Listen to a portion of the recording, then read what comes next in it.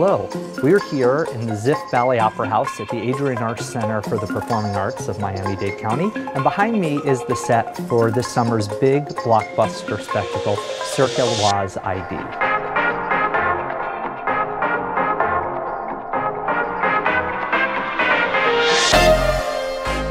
Cirque Éloize ID is really about a dynamic city finding itself, defining its own identity. And we wanted our audiences to be a part of talking about why Miami is special, why Miami is unique, and what the Miami identity is. So one way to do that is we really thought we want to bring the audience immediately into the theater and be engaged in the performance before the lights even come up, before the curtain even goes up. So our idea was, let's use social media, let's use video cameras, let's use technology, and let's actually have the audience be a part of a pre-show leading up to the actual performance where the artists and the acrobats take the stage. And this evolved into becoming what we've called the media wall.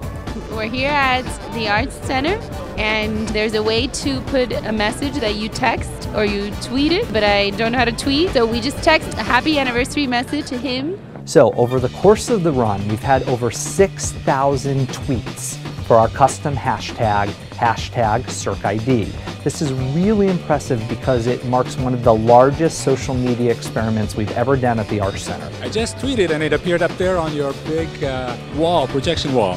Another element is we've set up three IP web-based cameras throughout the facility. And we also have our graffiti wall, where people can actually see themselves right on the screen, interact, dance, have fun, and really show off what their talents, what their identity is right there in the lobby. All of this is projected on screens that are hanging at the proscenium opening of the show. I took a picture of my tweet. Is that what that is, a tweet? Basically, I just said that it's it's great to know that urban American culture is revered and celebrated in a global creative space. Our audiences have really been responding positively, I mean enthusiastically. I just think this is just, it, it's just amazing. There's a big gap between having the idea and actually getting it in front of an audience. And we're very fortunate to have a great staff here at the Adrienne Arsht Center who really bought into the vision and loved it and said, you know what, we've got the skills to make this happen. This is a control booth for the media wall and this is where we run the magic from. So we're here at the center box and what we did to put this together is we actually did not use the center box or sell those tickets and we set our equipment up in the vestibule to the center box and took the door off to the box itself. We have five screens in all in the media wall and to feed those five screens we have three projectors and two computers. Now we're streaming from multiple sources coming from streaming cameras in the lobby. We have a photographer that roams around the lobby in the house and shoots pictures of our patrons so as they're entering into the theater they can see themselves on the screen which at times have up to a two minute delay. We also have a live social media feed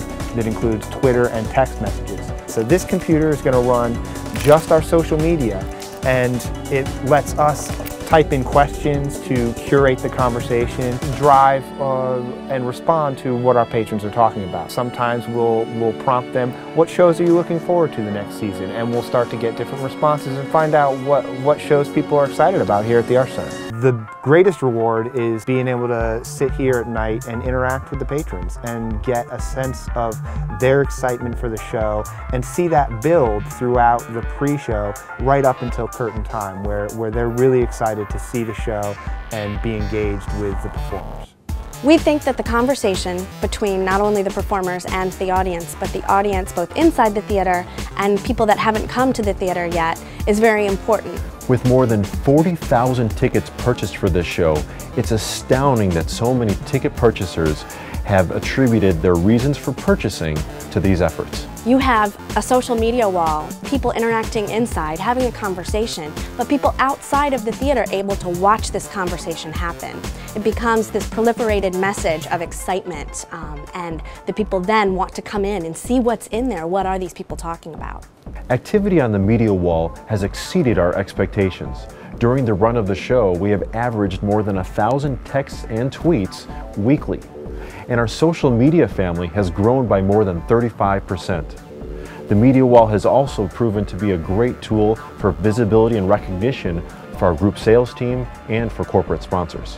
Now, we've only started to explore the possibilities that this technology and that this media wall can bring to the Arts Center. We would love to see this integrated into more shows. We'd love to see this integrated with more sponsor messages, with more donor messages, so that the audience, the artists, the venue, all of our patrons, that whole Arts Center experience is blended together using real-time media, real-time technology, and real-time social media tools to be a seamless conversation with everything that the Arts Center is about and really fulfilling our mission, both artistically and for the good of the community. This very successful experiment with the Media Wall at the Adrienne Arsht Center has become a how-to on engaging your patrons through social media. This is really great story. I happen to walk in with my wife and I see Felipe's picture up on the screen and I realize, man, that guy owes me 50 bucks. so I looked around and finally I found him and there he is. So this is one of the best pre-show experiences I ever found.